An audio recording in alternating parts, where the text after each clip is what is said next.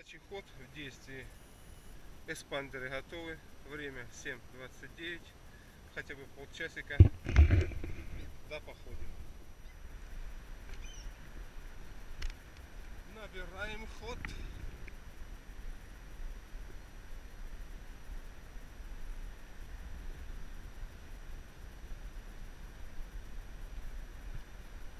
Через Дубраву.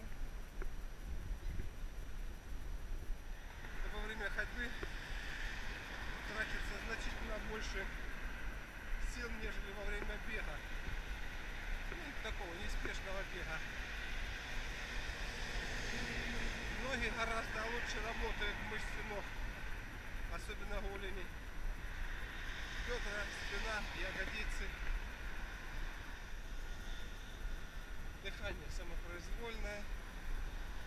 Вы потихонечку вы почувствуете что оно начинает усиленно работать.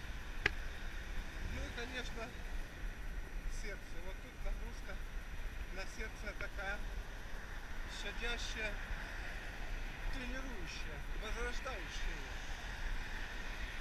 На суставы нагрузки никакой практически во время ходьбы, кроме физиологически полезной, нету. Нежели во время бега толчки вот эти тем не менее вибраций достаточно для того, чтобы в организме все протрусилось. А вот я впереди вижу храмы Владимира.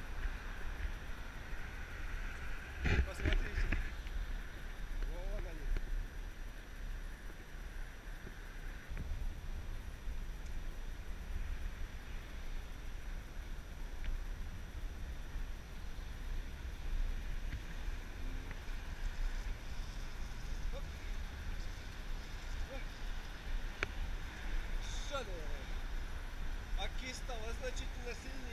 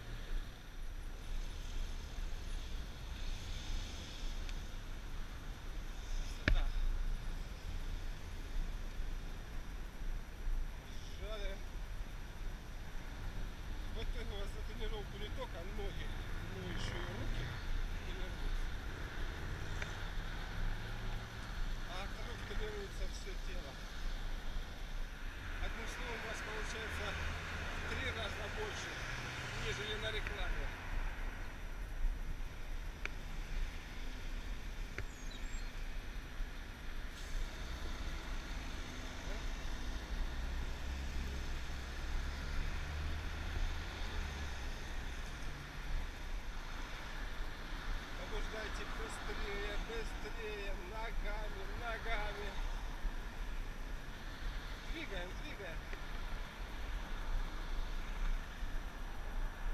Хача. Дядя Будулай. А то скандинавская ходьба палками туда-сюда. Да эспандер намного лучше, меньше, выгоднее.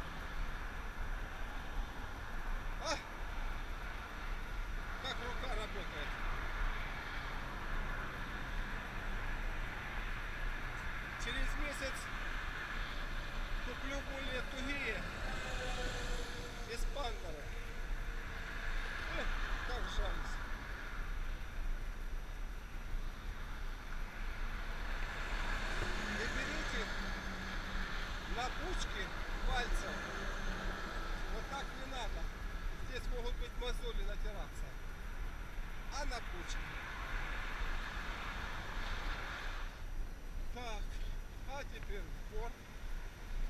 И ходим в бару. Дышим.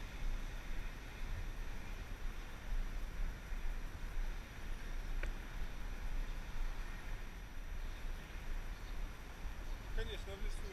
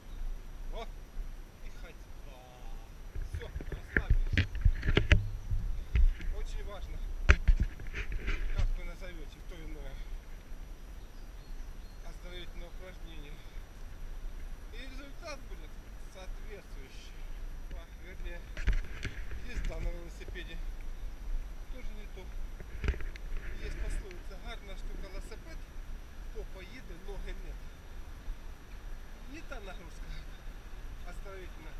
Она ненормальная, не физиологичная. Итак, у нас два эспандера и работаем двумя. Пошли.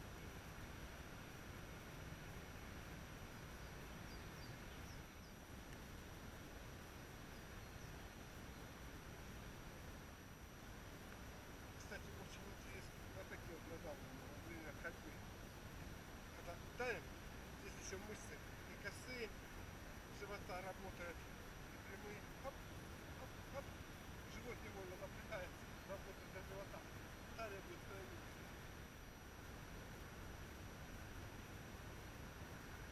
Когда идешь и нажимаешь, дряблость уходит с рук, все плечо работает. Ну вот тренировка окончена.